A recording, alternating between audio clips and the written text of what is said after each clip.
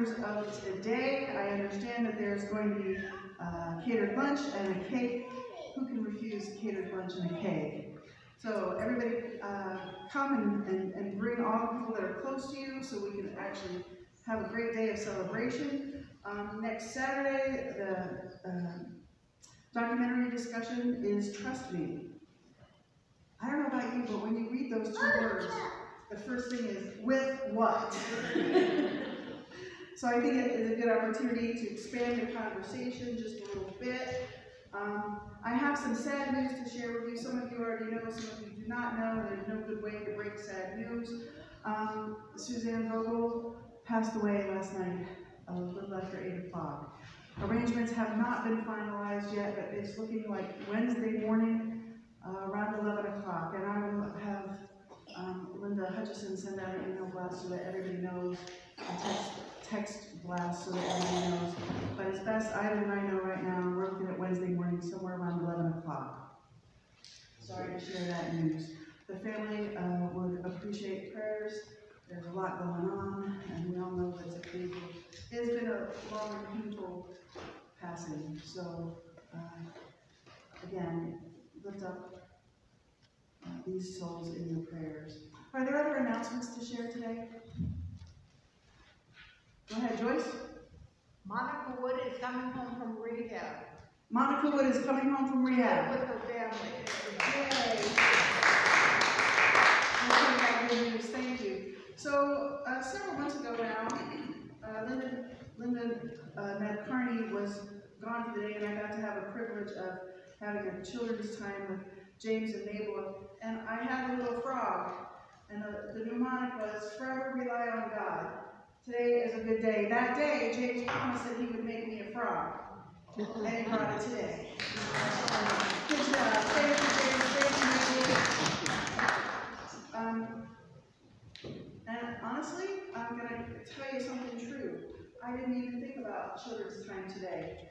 Um, I was expect, I was expecting Linda to be here today, but she texted me early this morning and said she wasn't gonna, so when we get to children's time, guys, we really are gonna rely on God. Are there any other, any other things that we need to share with each other? I wanna thank Mary and Sally for filling in for Sally. We should be praying for Sally and George. I was, I got an email, uh, earlier this week, and she said they would take another test today. So let's hope that that test comes back negative and that they are feeling better. Um, go ahead. Is there still a committee meeting after church? Mission, mission and outreach, yes, Okay, Where, where will it be? just in the social hall. all right, thank you. Any others? Let's worship the Lord.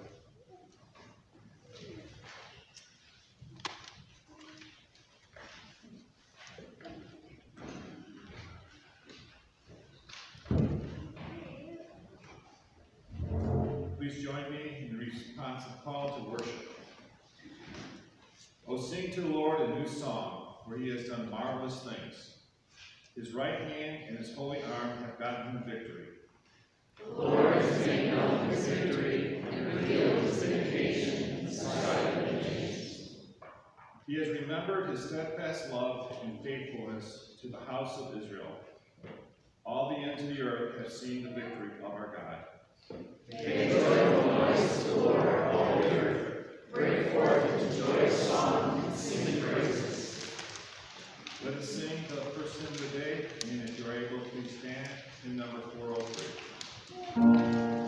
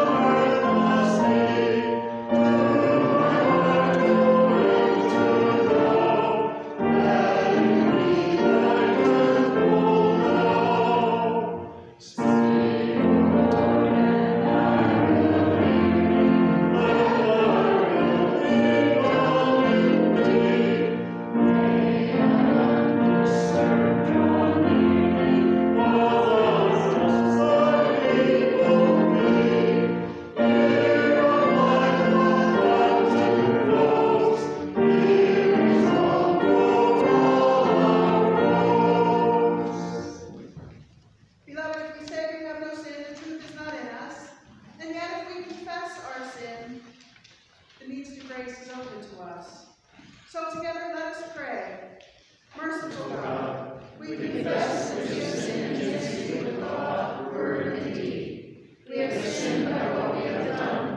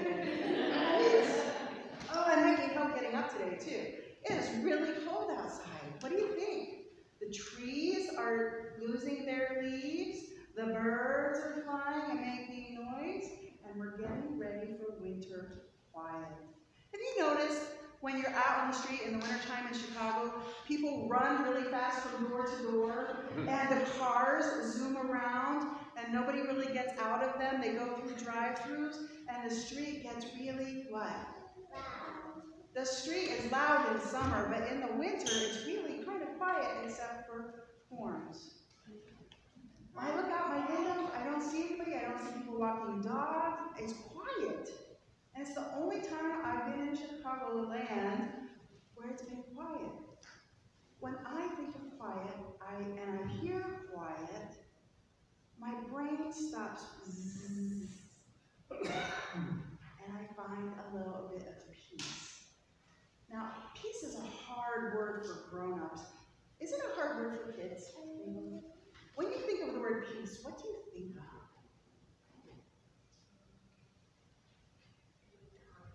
Being kind. That's a great way to have peace. Inside yourself, because you did something awesome, and for the people who received your kind, it's also peace. James, that's a really hard word. You want to try? Peace. It is a hard word. When you think of the word peace, do you have any ideas that come to you? That's pretty, pretty true. Sometimes grown-ups, when we think about peace, we're not fighting. We don't fight here at Riverside. We don't fight at preschool. I mean, we just don't. That's not what we do here. Does anybody else have any ideas about peace?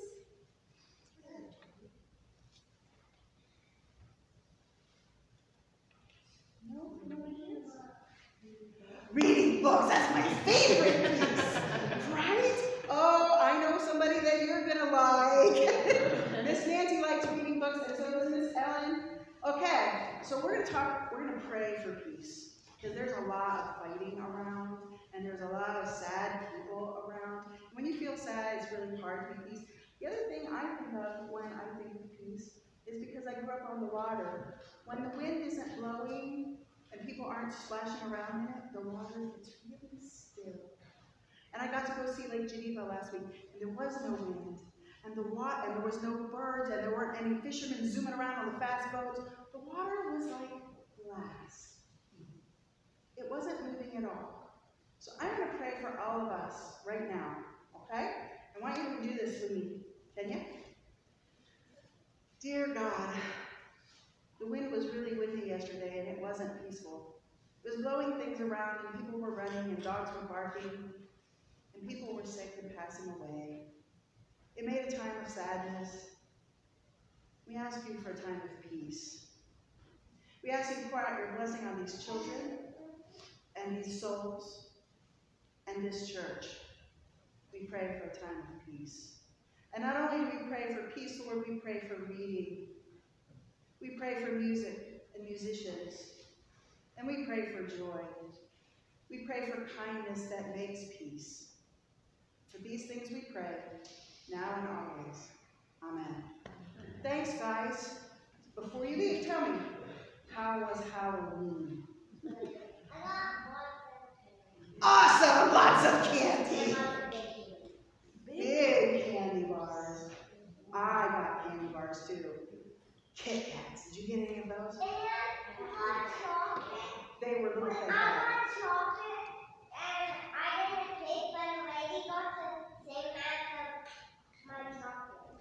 Awesome. If you need a friend to share, let me know. How was Halloween, guys? Was it good? Was it fun? Did you see any, did you see any skeletons that made you scary? Yeah, some scary masks that made you scary? What did you dress up as? Batman saves the day, always. He scares the scary away. Love Batman. Well, we refused a costume, but we tried a pumpkin. I saw two pumpkins today in the river.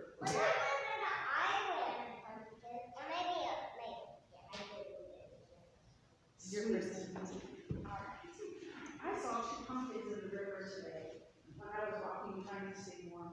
How come people do you think might throw pumpkins in the river? Why wouldn't they just leave them out of the water so the deer could eat them? Or the mice or the squirrels or something to eat them? Do you think fish eat pumpkins? I don't think, I don't think these fish eat pumpkins, but that's another thing. When people throw things where they don't belong, that's not peace. Nice. Nice choice. All right, time to get this show on the road, or at least try. Try, try, try. Get my little message in.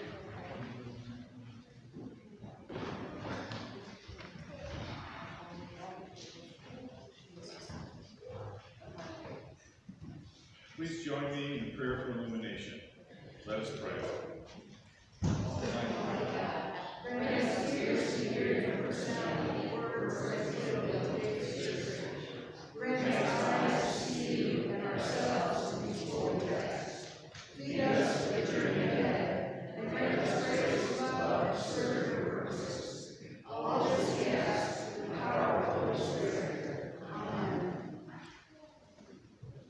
17, first nine verses. Hear just cause, O Lord, attend to my cry. Give ear to my prayer from lips free of deceit.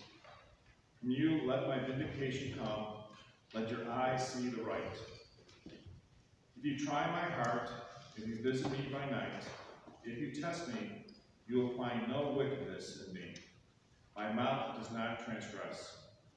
As for what others do, by the words of your lips, I have avoided the ways of the violent.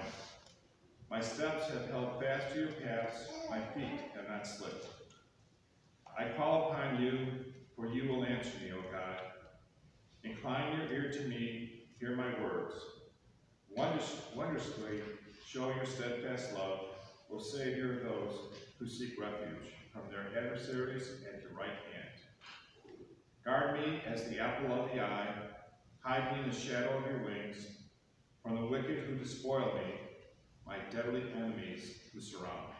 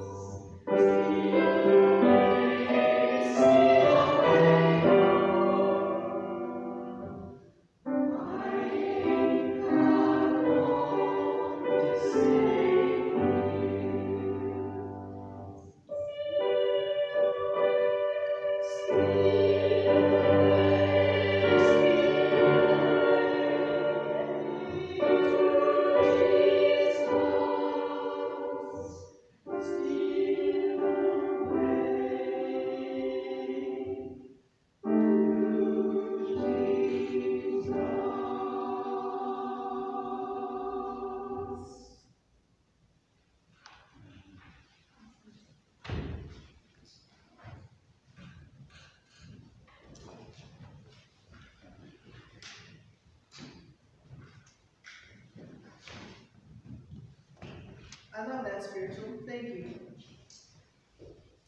Seems to me that sometimes in life, we have all the time in the world, and other times in life, we can't hurry home fast enough. I don't know where any of you are today, but I invite you to find rest and peace in the word of the Lord. Our second lesson comes from Luke's Gospel, chapter 20, verses 27 through 38. Listen once again for the word of the Lord.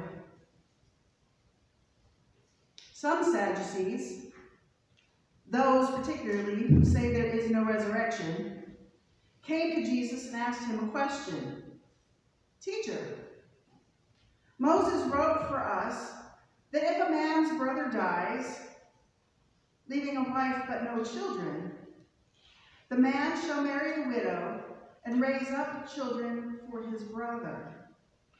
Now there were seven brothers. The first married a woman and died childless, then the second, and the third married her. And so, in the same way, all seven died childless.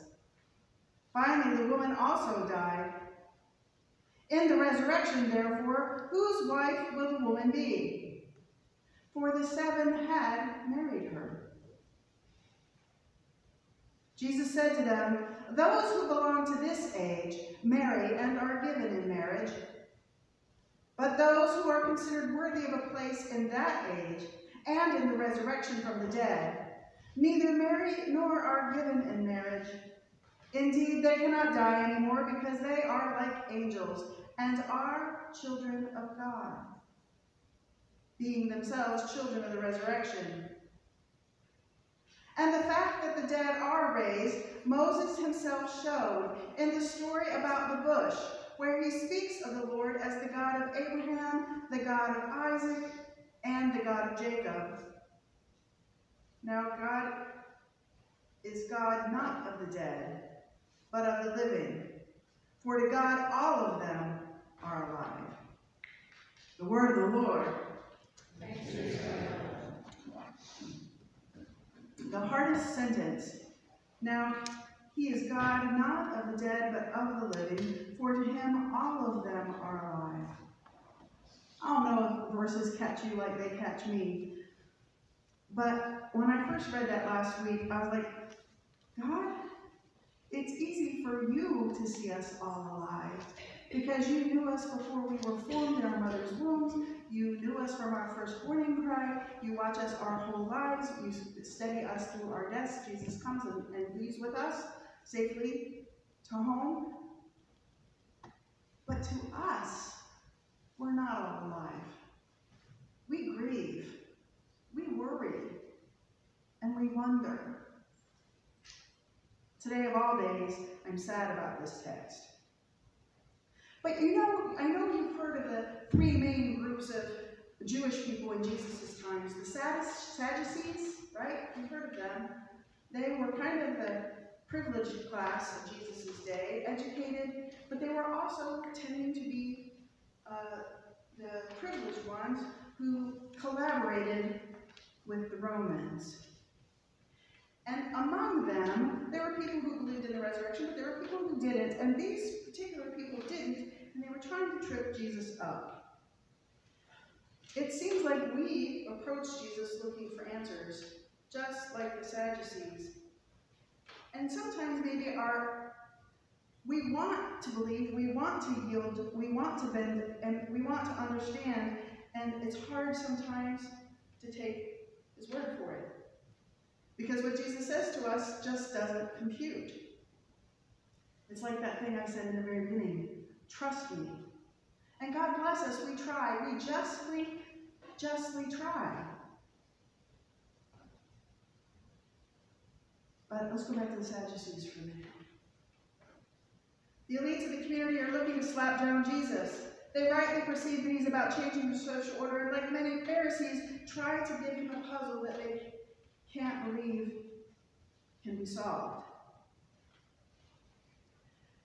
Though I am a Christian pastor, I think for myself this is one of those places, Lord, where nothing is too hard for God, but Lord, this is too hard for me to preach. So if you're going to say something, nothing is too hard for you, you better show up today, just like Jeremiah 32, 17 says. You just better. But Jesus, being Jesus, proves himself an able thinker, an able problem solver, and an able storyteller. And he at least gets himself out of the jam. Now, I think we already have lots in common with these guys, because there's lots of problems that we think are too big to be solved too, right? Homelessness, cancer, war, inflation, racism, sexism, and every other ism of which you can think. And even though we have Jesus' person and teachings, most of the time we are anxious because we still find ourselves living in the confluence of lots of jams, and we only have a little bit of light in Scripture. And I will contend that even though we only have a little bit of light in Scripture, we have a lot of light in the Holy Spirit, we have a lot of light in each other, and we only need a light just to our feet, just for the next step. We don't need any more light than that, because if we had more light than that, like those Halloween costumes, we might be too scared to go. Now, I know that most people, um, I myself sometimes struggle with the finer details of the Levirate Law. If a brother dies and he has a brother, the brother, the surviving brother is supposed to marry the widow. I've never been a brother. Does that sound like a good idea to you? Does it sound? Sounds like a whole screwed up family dynamic, doesn't it? Man, we, people get in trouble with that unless they, well, never mind. But the ethics of levirate law was actually an important idea. That whole marrying your brother's widow thing was to protect family property and the line of inheritance. It was also supposed to co- continue the person in the community's memory. Oh, that's, that's Jerry's children, or whatever. But it was also supposed to be a social safety net for women and children. So that just is a measure of how far away these stories are from us. We wouldn't go about it that way. Therefore, people can write it off, but the intention is a holy intention. Now, I'm surprised that the Sadducees, being who they were, weren't interested, were, were couching the question about the wife. Who cares about the wife? She died too, right? I had to take, I had to stand back and say, were they honestly asking this question when they really probably cared about all the financial pieces more? So there's the ethics of the levirate law that's supposed to take care of people, protect family properties and inheritance, uh, continue the person's memory in the community, have a social safety net for women and children, but there's also another way. Another way of managing problems.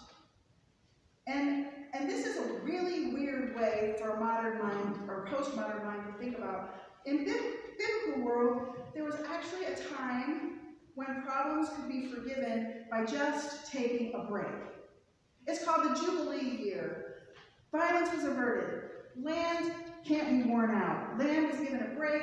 It can't be sold in perpetuity. It might be leased, but not in the Jubilee year. Crops might be sold, but not in the Jubilee year. And in the Jubilee year, that land goes back to the original tribe, even if the original member passed away. The original family's passed away. Weird way of doing things, isn't it? But don't we value people who can think outside the box and solve problems in ways that seem weird? If we can value the creativity instead of judge it, maybe it will give us a little light to walk by. Now, the Sadducees are asking Jesus about whose wife she will be in the kingdom of heaven. I heard this theology professor in seminary say that's like trying to figure out how many angels can dance on a pinhead. And he's right.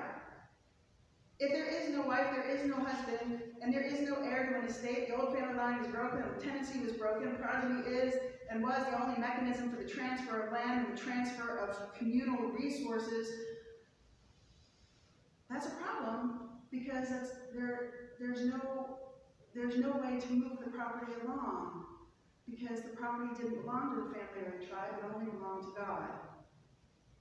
It took me a long time to make the connection, and it may be a tenuous connection, but all the people, husbands and wives, Sadducees and Pharisees and Essenes and Jesus, all the people belong to God too. And all the land, if somebody dies and there's nobody to pass it along to, all the land go back, goes back to God, reverts to God, because God is the landlord. Israel and everybody else are just tenants. But Israel was the manager, the property manager of the land. These Sadducees actually do us a favor. They point us to the very things we don't know but want to know and are afraid to directly ask. Jesus is basically saying everybody reverts back to God, everybody reverts back to God's self, and everybody goes back to God's, God's creative imagine and sustaining imagination. Now, I know in church on Sundays, most Sundays, at least since I've been here, we affirm the resurrection each week in creed. Without batting an eye most of the time, we just say it by rote. We don't necessarily think about it, if we do think about it, sometimes we mutter or roll our eyes, but we still get through it. We keep on going. Sometimes we think about it though. Underneath our routine confessions of faith, questions about nature and form and importance of the resurrection might be roiling. Several people around here have told me, I don't believe in the resurrection, that's just, that's just fairy tales. And I thought about it, I'm like, it might be, but would it change who you are and what you do on a daily basis? Because that's the underlying important question. If it's all about pie in the sky when we die, maybe we've missed part of the equation. The passage pointed for this Sunday is just peculiar enough that it might bring some more of those questions to the surface. And I don't know how to preach a, a skinny-bodied gospel. I don't know how to preach a full-bodied gospel, but here's my hope. The very fact that it's peculiar assumes two bits of biblical knowledge about the Sadducees and what levirate marriage is, and I've already explained those things. So here I'm going to move to the questions that it spikes for me. Spike for you. He's very explicit in explaining what the resurrection will be like, but it's not very satisfying. It's not very satisfying because I don't have any direct experience with it. I can't explain it to you any better than what he explained it to me here. What will the resurrection life be like? It's an important, understandable question that, because we're all naturally curious about what comes next, both for our loved ones and for ourselves. Passage doesn't give us very much detail. It revolves, after all, on a hypothetical question that the Sadducees asked Jesus in order to discredit him while simultaneously trying to embarrass their resurrection-believing rivals, the Pharisees. It's always about competition with us. Don't you just wish they would have asked him, what's it going to be like when we die? Because we would have. Right? We're not shy. We would have.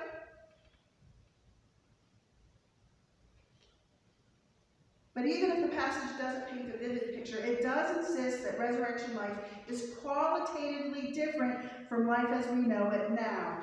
That's why we grieve. Intuitively, we understand it's going to be different. How could it not be? Right? I was having lunch with a pastor and we were talking about how somehow we got on this discussion of organ donation, right? And we were talking about how the Catholic Church has changed its teaching over the decades about organ donation. It used to be a flat no, right? Because it interfered with God's providence or something like that. Which made me laugh because it sounded Presbyterian, but it wasn't. And my take on the whole thing was God gave us organs the first time. If we need them in heaven, don't you think he'll give them to us the second time? hmm. See, I don't fit in often. Everybody laughed at me, but I was really serious.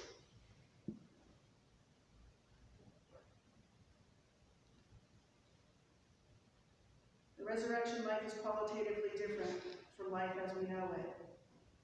This is, in fact, a mistake Jesus points out the Sadducees are making. Their question is premised on the assumption that eternal life is an endless state of more of the same.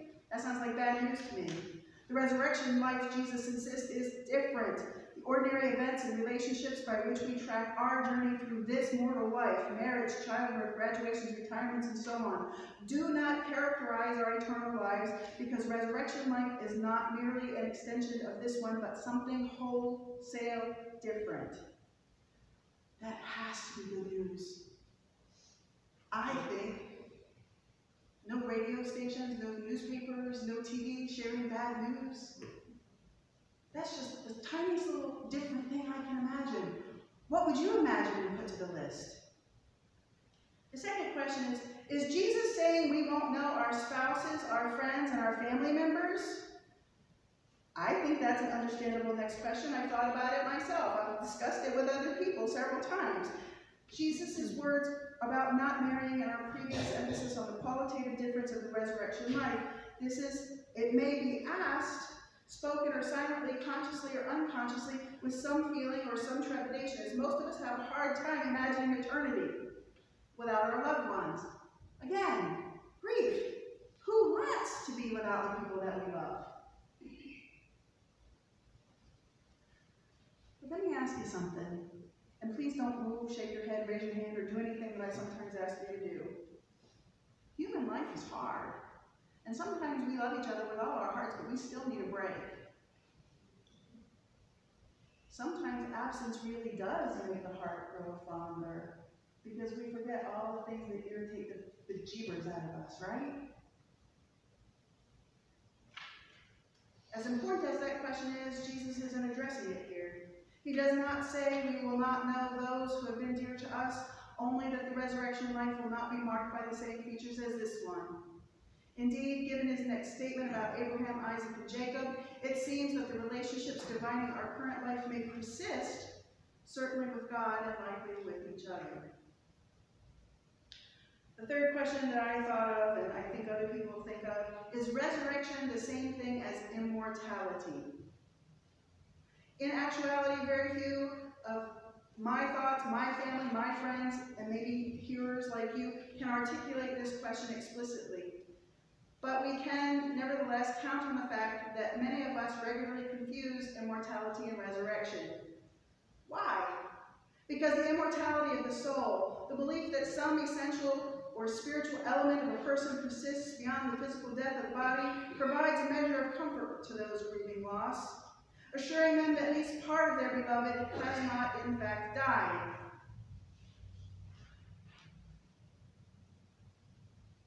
Nothing can be gained or lost in this system. It just changes, Jesus says. In distinction to this notion, Christians have instead confessed that while we really and truly do die, resurrection promises that the whole person will in some way be united with God. And here is the real problem as I perceive it sometimes. As majestic as that sounds, it doesn't sound possible and it doesn't sound fun. And I wonder where we get that from. Because my God is the God of dancing dolphins, the chirping birds, the toddling toddlers, the beloveds. Is union with God sufficient for us? Or are we still grasping for something else? Even though I think the distinction between immortality and resurrection matters, you might not. And I don't want to belabor the point or seem to scold anybody for not being clear about the words or some theological statement about piety. I just hope that we can rest in the resurrection in a way that offers us some kind of full-throated, full-bodied, full-hearted, full-minded hope in the gospel. After teaching some adults in a study about the resurrection some years ago, a parishioner came, was very upset. Her husband had died the previous year, and her belief in the immortality of the soul had brought comfort to her. I don't know if it was a mistake or not, but as gently as I could, I said that I didn't want to take that comfort away, but rather to make it stronger, maybe more complete. What I want and hope for you is more than the wispy essence of your husband. I want the whole person for you, the whole person created, loved, and now redeemed by God in and through Christ. We cried. Over time, it seemed like that affirmation helped reckon, helped her reckon with her grief, not by denying it, but by promising that there would be an end to it. For everything there is a time and a season. And indeed, an end to all our grief, all our tears, all our suffering, when God creates a new heaven and a new earth and invites us all to live there together with God and in the fellowship of the saints. These things are hard and they're important. But I hope when we speak to our loved ones, our families our friends our, our, our church mates, I just hope that we will have the courage to talk about our beliefs and our affirmations and, and, and be like the Hebrew. Western languages, Romance languages, English, we try really hard in our litigious society. We try to nail words together and nail them to the floor such that any change in interpretation can be avoided. But the Hebrews, they left spaces between their words that was so big you could drive a Mack truck through them. And when we're being together as people of God together, can we just leave space so that we can all get through this thing called life with the hope that someday we'll be together, and not only that we will be together, but that we will be united together and united to God. Because that's the beautiful thing. Our hope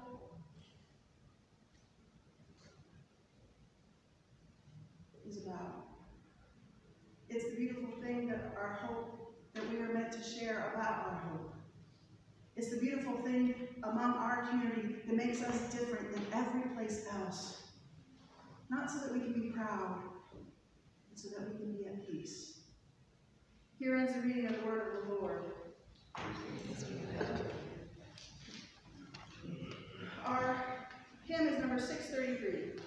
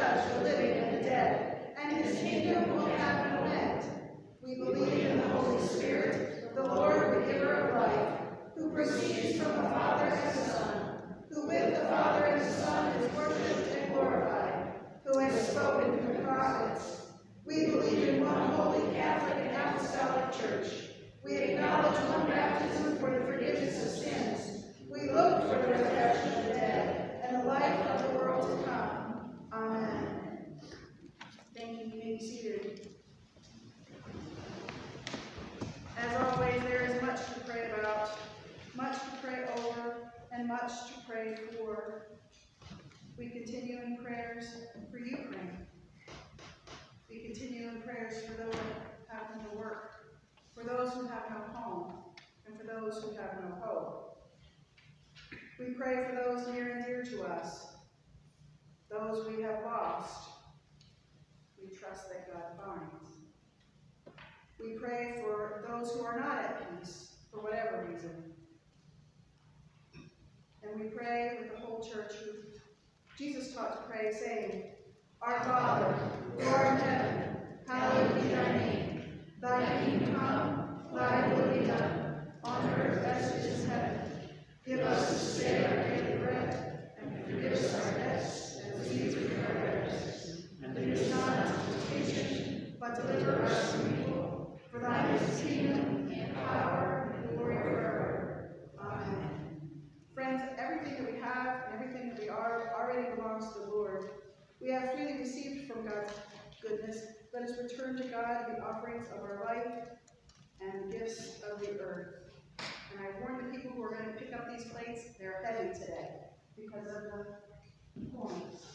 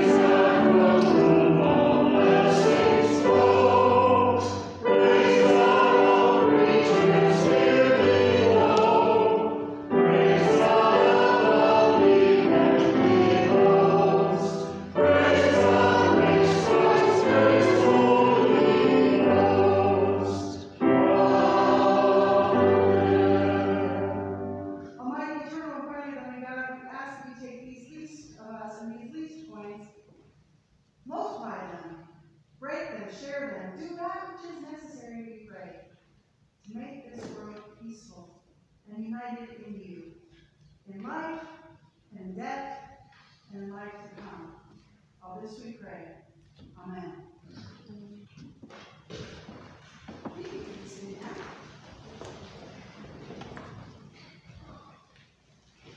This is the joyful peace of the people of God. We come from the north, the south, the east, and the west to come to this table. According to Luke, when our risen Lord Jesus was at the table with his disciples, he took the bread, he blessed it, and he broke it, and he gave it to them.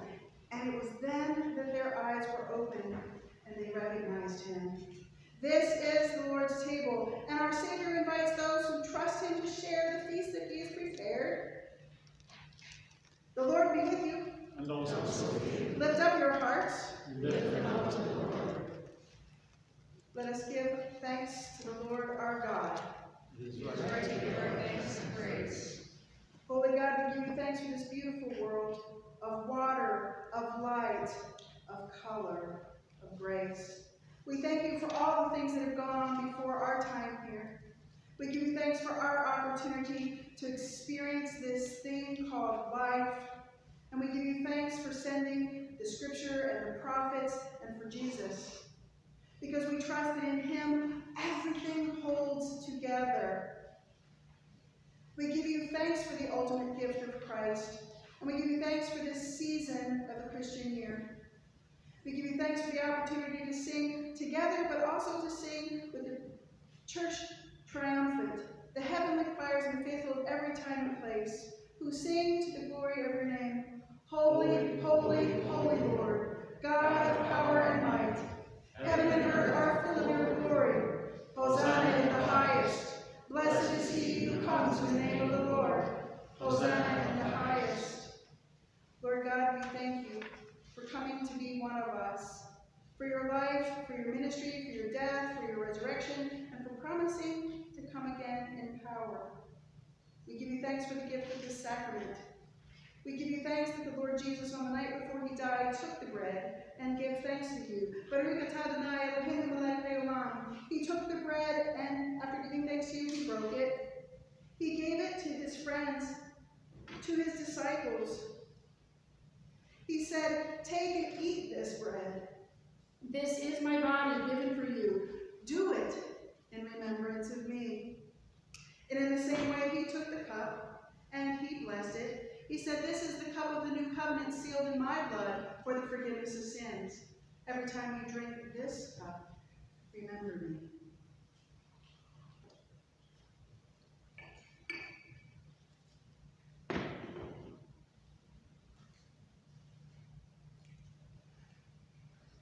Thank you, God, for these gifts.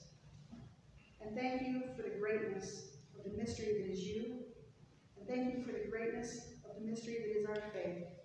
Christ has died. Christ is risen. Christ will become man.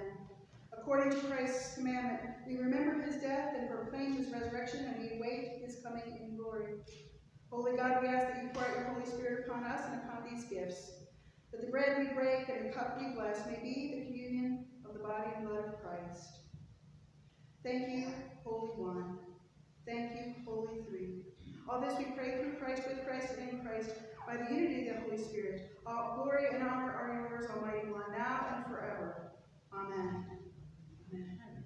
Friends, if you have your small cups, open the wafer side.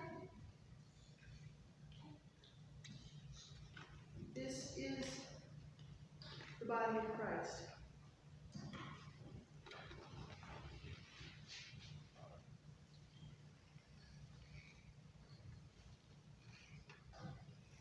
In the same way, turn it over. Open the juice side. This is the cup of the new covenant, the blood of Christ, the cup of salvation.